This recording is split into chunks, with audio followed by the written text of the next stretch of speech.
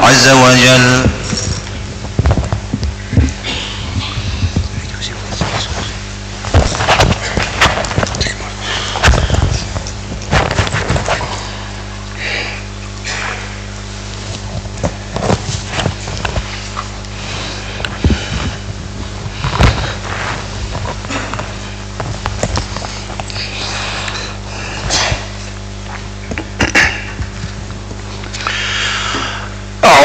بالله من الشيطان الرجيم. بسم الله الرحمن الرحيم. الحمد لله والصلاة والسلام على رسول الله وعلى آله الطيبين الطاهرين وعلى أصحابه المنتجبين وعلى جميع الأنبياء والمرسلين.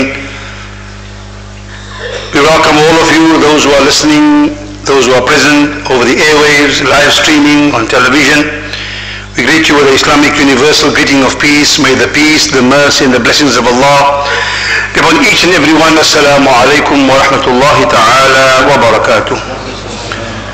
We continue our series titled Nubala Hawl al-Mustafa, the noble ones around the chosen one. Snapshots and anecdotes from the inspirational lives of outstanding people who are in the company of our beloved Prophet Muhammad Mustafa sallallahu alayhi wa alihi wa sallam.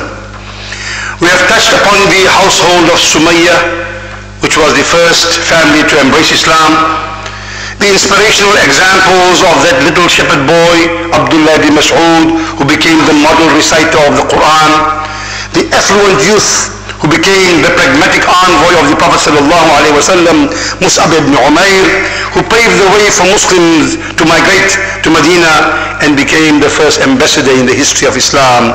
And tonight we focus on the first one who called the Ummah to prayer, Bilal ibn Rabah. Sayyidina Bilal was born in Mecca to slave parents who were of Ethiopian origin.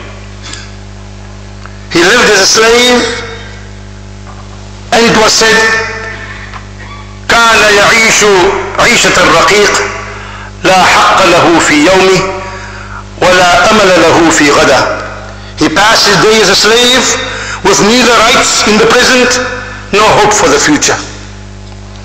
He was a slave of a cruel person by the name of Umayyah bin Khalaf who when Sayyidina Bilal embraced Islam threw him naked on burning sand at the hottest time of the day and placed heavy rocks on him and have people taunt him and kick him in public.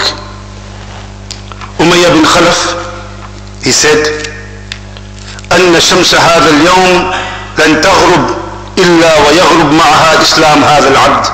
He says, the sun will not go down today until this slave's faith will go down and disappear. Despite the torture, Sayyidina Bilal would not utter allegiance to the idols Allah and Uzza. And he said, إِنَّ لِسَانِي لَا يُحَسِّنُ To say allegiance to these idols does not sound good on my tongue. At this time of being overwhelmed by his attackers, he merely repeated the words, Ahadun Ahad, Ahadun Ahad, one, Allah is one, Allah is one. In fact, those who tortured him, they say, قد تعبنا من تعذيبي حتى لكأننا نحن المعذبون We felt so tired of torturing him to the extent that we felt we were being tortured while we tortured him. Rasul sallallahu alayhi wa sallam instructed Sayyidina Abu Bakr as-Siddiq radiallahu anhu to free Bilal. And he went to Umayyah bin Khalaf and he said, whatever the cost, and he paid the cost to free the slave.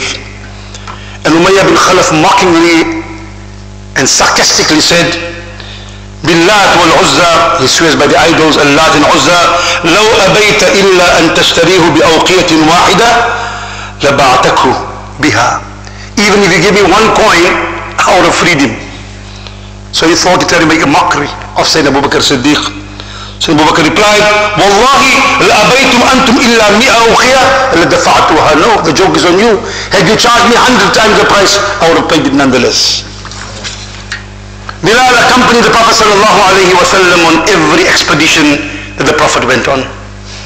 And when the Prophet entered Mecca with the Muslim army, and don't forget the Muslims were ostracized, victimized, attacked after Badr and Uhud and Ahzab and all of that, when the Muslims came and entered Mecca. and as the historians document and report of this magnificent entry into Mecca, in fact the British historian Stanley Poole said when Muhammad entered Mecca, no tree was cut down, no water was polluted, no elderly person was humiliated, no house was destroyed, no woman insulted. He said, through all the annals of conquest, there's no triumphant entry comparable to this one, unquote. So in that entry which the historians write about, that the Rasul entered Makkah and on his side were two men. And the people, the arrogant ones of Quraysh, arrogant ones of Quraysh, we heard, إِنَّ اللَّهَ لَا يُحِبُّ مَنْ كَانَ مُخْتَالًا فَخُورًا Allah does not love those who are boastful, vainglorious and arrogant. And they were exactly that. And they said to one another, they couldn't believe the slave who they tortured and this Muhammad who they removed from Makkah. They said, who are these two? Al-Aswad al-Aftas. Who are these two black, round-nosed, flat-nosed people in their arrogance. And historians document, رأينا الرسول يدخل مكة فوزا. We saw Muslim Muhammad Rasul صلى الله عليه وسلم enter Mecca victorious. وعن يمينه وعن يمينه بلال بن رباح وعن يساره أسامة بن زيد. And when he entered, there were two black people, young people on his side as his guards. On one side was Bilal, and on the other Usama bin Zayd. And you can imagine the scene when Bilal stood on the shoulders of the Rasul, breaking the idols and reciting the verses the Rasul said, وَقُلْ جَاءَ الْحَقُّ وَزَهَقَ الْبَاطِلُ إِنَّ الْبَاطِلَ كَانَ زَهُقًا Proclaim the truth, that the truth has arrived and falsehood shall perish. Because falsehood by its very nature is bound to perish. The Prophet then said to Bilal, get atop the Kaaba and call the adhan to the city of Makkah. And these chiefs, they watched in amazement and the Rasul said, إن الله قد أذهب عنكم نخوة الجاهلية وتعظمها بالأباء الناس من آدم وآدم من تراب. He said, Allah has wiped out, removed your notion of superiority and of supremacy and your arrogance of ancestry. People are all children of Adam and Adam was made from dust. And then Bilal gave the adhan. And after the Prophet passed on, Bilal did not give the adhan. And he said, Inni la u'adhin li ahadin ba'da Rasulullah. I do not wish to give adhan for anyone other than the Prophet sallallahu alayhi wasallam. In fact, he left and died in Syria 10 years after the Prophet passed on. But he did on two occasions, according to some history historians, he did give adhan two times. Once in Medina at the request of Hassan and Hussein, the Prophet's grandson, and once at the request of Sayyidina Umar in Syria. When Bilal was asked about his love for the Prophet sallallahu alaihi wasallam, he said, يخرجني من الظلمات إلى النور ومن الرق إلى الحرية. He said, I love the Prophet. This man, he brought me from darkness to light. He brought me from slavery to freedom. The Muslims in the first battle, Battle of Badr, were outnumbered as you know, insignificant in number. 313 ill-equipped. Ill-equipped against an army of 1,000 strong. I always say it's like Lesotho going to war with China. And the rallying call of the outnumbered Muslim army at the Battle of Badr against the arrogant and haughty forces who were filling the horizon, what was the call? They repeated the words of, of Bilal when he was tortured Ahadun ahad, ahadun ahad, ahadun ahad, as they went into battle. That very cry of that former slave Bilal became the motto and the rallying cry of the believers at the most crucial fight in the history of the Ummah. If the Muslims versus Badr, we wouldn't be here today. Allah knows best. When Bilal was later praised in his life, he used to say, إِنَّمَا أَنَا حَبَشِيُّ الَّذِي كُنْتُ بِالْأَمْسِ عَبَدًا He said, I'm only an Ethiopian who recently was a slave.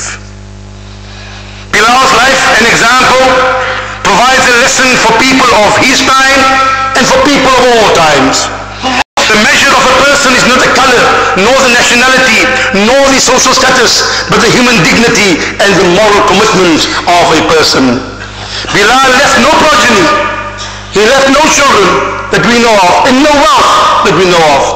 But five times a day, there is a spiritual memorial remembering Bilal's call to prayer. Every day from every minaret of every mosque in the world, we hear the adhan that he first gave. So much so that in the mosques of the world and even in Cape Town in particular, in the southernmost tip of Africa, when the adhan goes off, people say, the Bilal Bang. Bilal indeed was Mu'adhin al-Islam wa Muz'ij al-Asnam, the, the destroyer of idols, the caller to prayer. Little wonder, the Prophet said of this one, this one whom Umayyah bin Khalaf thought not worthy of ascent is worthy of paradise, which can be bought with all the money in the world. And Rasulullah said about Bilal in authentic hadith, Bilal ibn Rabah, رجل من أهل الجنة. Surely Bilal is of the people of paradise. May Allah join us with him and learn the lessons of equality and humility and commitment from his life أقول قولي هذا وأستغفر الله العظيم لي ولكم والسلام عليكم ورحمة الله